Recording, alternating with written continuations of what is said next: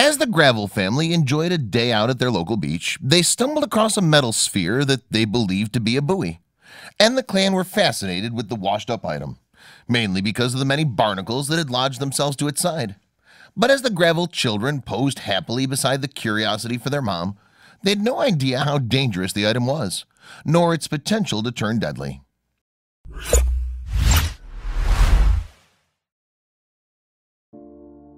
But before we start, please give the video a like and make sure to subscribe to Wonderbot and hit the bell so you'll never miss any uploads from us. The Gravells, Mom Kelly, Dad Gareth, and kids Erin and Ellis hail from the coastal town of Burry Port in Carmarthenshire, Wales. And when Kelly and Gareth aren't busy with their waste management company, they enjoy trips out to the beach with their children, much like many parents who live by the shore. Luckily for the Gravell clan then, Burry Port boasts its very own beach that overlooks the Gower Peninsula. And as the town's name suggests, the location was formerly home to a busy shipping port that transported Welsh coal onwards from the local valleys. Today, by contrast, it's less industrial and mainly known as a local beauty spot. To the Gravell kids, though, their local beach was likely just a place for fun. After all, there's plenty of enjoyment to be had by playing in the golden sand paddling in the waves, or exploring the curiosities that can appear along the shore. And thanks to these many diversions, even an average day out by the sea has the potential to be memorable. That said, one of the excursions that the Gravells took in August 2015 may have proved more eventful than most. During that month, the family of four made the best of the good weather that the area was enjoying and visited the beach on a day out. Gareth even marked the occasion with a photo that he later shared to his Facebook page. In the image which was posted to Facebook in 2015, Gareth is seen waving at the camera while Erin and Ellis both flash double thumbs ups. All three of them are posing in the swimwear against a backdrop of blue sky, sparkling water and golden sand. And in the accompanying caption, Gareth wrote, No place like home. Kids love Burry Port on a nice day. At the time that the photograph was taken, little Erin was just six years old, while her brother Ellis was four and it appears that the kids found something to occupy them on the beach that day. In 2015, Kelly explained to ABC News, My children took their boogie boards down and we were going out to the sea. During their day out at the beach, however, the Gravells noticed something unusual sitting on the sand. And as the strange item piqued the interest of both the parents and the kids, the whole clan decided to investigate. We saw a large object on the beach, so we thought we'd have a little look, Kelly recalled. The mass in question had seemingly washed up onto the beach from the sea. It was also round in shape, which led the family to believe that the object they were looking at was simply a buoy. What really caught Gravell's eyes, though, was the large number of barnacles that were attached to the curiosity. All in all, then, the Gravells found themselves drawn towards the buoy-like item. Proud parents Kelly and Gareth even took pictures of Erin and Ellis posing beside the seemingly harmless object and in the resulting images the children can be seen smiling happily to the camera lens, blissfully unaware of how dangerous the shot is. Explaining what had attracted them to the buoy, Kelly later told ABC News, We were more fascinated by the barnacles on it, and it seemed that little Ellis in particular wanted to get a closer look at the otherworldly items. Kelly added, My son was touching it and was knocking on it a little bit. Gareth also appeared to be taken with the mysterious object, enough to capture it on camera through a film that he subsequently shared on Facebook. In the footage, his wife and children can be seen eyeing the buoy up from a couple of feet away. Gareth even caught the moment when little Ellis nervously reached out his finger to touch the Curiosity's barnacle-covered base. Then, alongside the video, Gareth wrote on Facebook, Ellis was fascinated with this sea monster washed up in Port Beach. The dad's sweet post attracted a number of reactions and comments too. At the time, though, Gareth was seemingly unaware that the sea monster he'd encountered was indeed something to be feared. Indeed, as little Ellis reached out to touch the object, Gareth and Kelly had no reason to prevent the little boy from being inquisitive. If the parents had known that the buoy was in fact deadly, however, they may have thought twice about getting so close. That's right, the couple and their children had all had a lucky escape from a dangerous weapon. Yes, through their proximity to the object, the Gravells had put themselves in harm's way, although they didn't actually realize this until five days after their trip to the beach. It was then, you see, that a friend contacted the clan upon learning of the true nature of the buoy in their photos. Yet it turned out that the Gravells weren't the only people to have taken an interest in the washed-up object. As a roundup item, it also been noticed by officials from the Carmarthenshire County Council. Just like Kelly, Gareth, and their kids, however, the council workers also believe the detritus to be a buoy. Then in 2015, Carmarthenshire County Council Press and Communications Officer Allison Thomas David revealed the true identity of the spear to ABC. It very much looks like a buoy, which we get on the regular, but around it was gooseneck barnacles, she said. Of course, as the barnacles started dropping off, that's when we could see writings exposed. And although Thomas David didn't elaborate on what the newly discovered inscription had said, she confirmed that the words had revealed the deadly truth of the object. As a result, then, the item needed to be destroyed to avoid anyone being harmed. It was picked up by the Coast Guard, who then notified the bomb squad.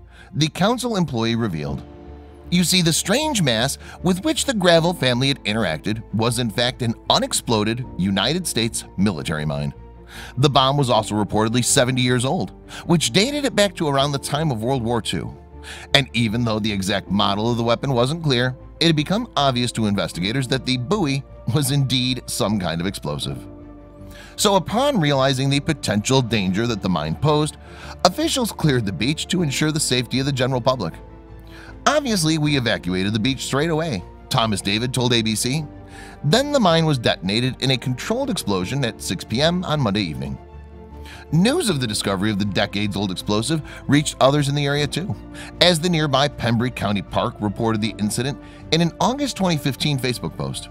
The park's message read, West Beach at Burry Port Harbor is closed temporarily due to military mine found washed up.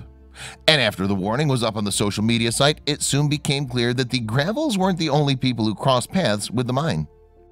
One comment posted below the Pembrey County Park update read, My wife walked the dog past the object early this morning and then reported it to the Coast Guard. The Coast Guard later phoned her back to confirm it was a World War II mine and then cordoned off the beach and called the bomb squad. Then, of course, the old mine was quickly destroyed in a controlled explosion that was carried out by the UK's Royal Navy.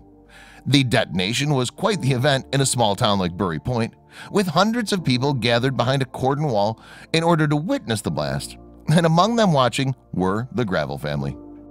As the onlookers cheered and clapped when the mine went up in smoke, though, the Gravells looked at one another in complete alarm. After all, if things had worked out differently, that fireball could potentially have consumed them. It was lucky, then, that the clan had escaped unharmed from their encounter with the mine. Summing up the family's feelings while watching the controlled detonation, Kelly told CBS News, We were thinking we're really glad that didn't happen at the beach. There was also some concern for the barnacles that the Gravells had so admired, on Ellis's part anyway. Apparently the boy had inquired, Are the little animals on there okay, Mummy? Then, following the detonation, a video of a bomb disposal team clearing the mine was posted to YouTube in August 2015. The accompanying caption, which was written by Robert Masterman, read, a little drama at Burry Port today when a World War II explosive device was washed up on the local beach after being found on some nearby sandbanks over the weekend. But while that was that for the mine, the Gravell family continued to relive their brush with the explosive. And the clan were apparently stunned that the big metal ball they'd posed beside had actually been dangerous. We get things washed up all the time, so we thought it was a buoy, Kelly explained to ABC News. We never thought for one second it was a bomb. The mom also couldn't help but think that the encounter with the mine may very well have turned out differently. The realization that the mine was a bomb, it was completely shocking for us, Kelly admitted. We realized now just how lucky we were. The parent also confirmed that she'd be much more careful in the future when approaching unknown items that had seemingly washed up on the beach. Gareth, on the other hand, managed to keep a good sense of humor about his family's brush with the potentially deadly mass. After discovering the truth about the object, he tweeted, So the buoy my kids were jumping on all weekend turns out to be a World War II bomb. Oops. And when talking to the Daily Telegram in 2015, Kelly explained just how her family had reached the mine in the first place. She revealed, The tide was up, so we discovered what we later learned was the bomb. Although at first we just thought it was a buoy. We were more interested in the barnacles on it, and the kids were looking at them. while Gareth noticed that it had a chain on. Kelly also recalled a flippant remark that she'd made about the appearance of the object. I even made the joke that it was a big bomb at the time, but didn't think anything of it, she added. It's only afterwards when the reality set in that we were actually very lucky. We were close to disaster. It's shocking. But while the Gravells run in with the unexploded bomb may have been too close for comfort, it hasn't put them off their local beach. I wouldn't be worried about going back, but we'll definitely be more cautious when we do, Kelly told the Daily Telegraph. Furthermore, Kelly said that the experience had taught her a valuable lesson. I've heard of things being washed up on the beach before, but nothing like this, she explained. We'll definitely think twice before messing with something like that in the future. We also went down for a look to see the mine get blown up. But even though Kelly's time at the beach had given her cause to reflect, it had also yielded a priceless snap to post on Facebook. So after uploading the photo of her kids posing beside the mine, the mom wrote on the social networking site, Erin and Ellis with World War II bomb covered in gooseneck barnacles, washed up at Burry Port Beach. And needless to say, the striking image struck a chord with some of her friends and family online. Yes, Kelly's Facebook post clocked up plenty of reactions and comments, with many displaying either their shock or amusement. One user, for example, wrote, Oh my god, I can't believe this, Kelly. Another added, Mad LOL. Definitely a photo to come out when they're 18, getting married, etc. And commenting beneath the photo, another one of Kelly's friends wrote, That must have been scary. The mom of two couldn't claim that she or her family had been frightened, however, and she replied, Not scary at the time as we were none the wiser. We were more interested in the rare gooseneck barnacles attached to it. Although now we know it's an unexploded World War II bomb, I'm feeling lucky that it didn't go boom. Meanwhile, following the controlled explosion, Carmarthenshire councillor Meryl Gravell issued a statement on the matter. The message read, I would like to reassure the public that we have taken the appropriate action. We apologize for any inconvenience whilst the beach is temporarily closed. Still, if the councillor had hoped to keep details of the mine within the county, she had no luck.